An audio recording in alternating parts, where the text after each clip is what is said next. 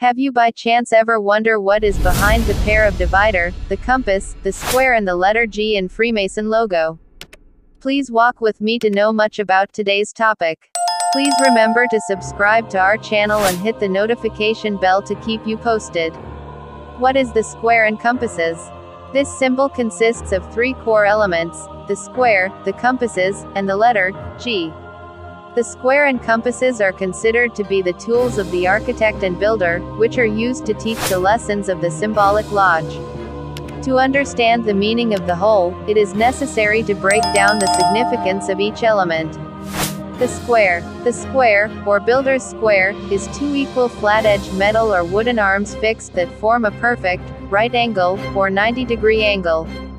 This tool is critical in stonemasonry because it allows craftsmen to draw and carve perfect square corners. Having perfectly square corners when building is critical to ensuring buildings do not lean and are structurally strong and sound. In Freemasonry, this symbol is used to teach lessons of morality. The notion that being square in your actions implies being honest and fair. The compasses. Most people likely know the compasses best from their geometry class. This tool consists of two legs equal in length that are fixed together at their apex by an adjustable hinge. In geometry, it is used for drawing perfect circles and arcs, a crucial element of architectural planning. In speculative masonry, the compasses symbolize self-restraint and man's ability to rein in his yearnings so that he may live a balanced life. In the teachings of Freemasonry, the compasses are symbolically employed to draw a boundary line around our desires to avoid overindulgence and maintain moderation, the foundation of morality and wisdom. Taken together, the square and compasses can serve as a reminder that acting truly towards others and balancing one's own needs will lead to a life of integrity. Compasses versus compass. When looking at the term, square and compasses, itself, there is often confusion around whether or not, compasses, is correct as many believe it should be referred to as the singular, compass. However, in Masonic ritual, the correct usage is in fact, compasses, as cited on page 162 of the combined ritual.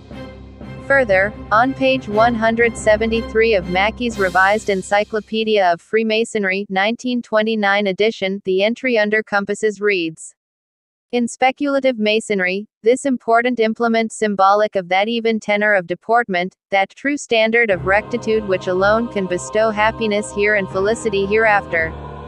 Hence are the compasses the most prominent emblem of virtue, the true and only measure of a mason's life and conduct. As the Bible gives us light on our duties to God, and the square illustrates our duties to our neighborhood and brother, so the compasses give that additional light which is to instruct us in the duty we owe to ourselves, the great, imperative duty of circumscribing our passions, and keeping our desires within due bounds.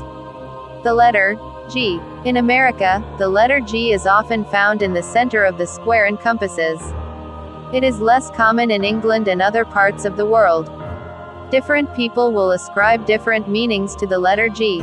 For some it refers to geometry and supports the Masonic lessons and symbolism associated with builders and architects, as well as the measurement and understanding of the order and perfection of the universe.